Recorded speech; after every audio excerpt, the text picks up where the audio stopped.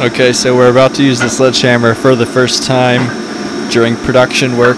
Andreas is here, and I told him that I sold the press because we're only going to be using the new sledgehammer now that it's so great.